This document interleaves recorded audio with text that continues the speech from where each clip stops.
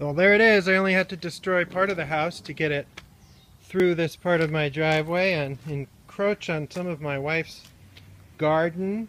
That's not going to be good. But that's good. Huh? Achy dad here. Pretty achy from moving that thing. Two of us could roll it up this lawn into the backyard though. It's a 1997 Coleman Taos.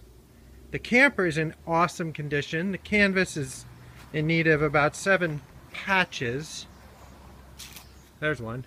But it doesn't smell. And I think for $800, it's awesome.